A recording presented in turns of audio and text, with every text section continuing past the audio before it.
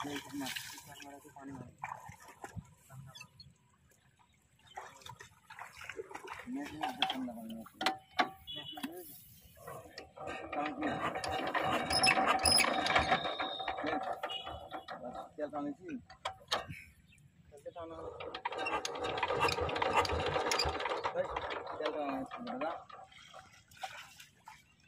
terus dulu. Kalau belum jalan.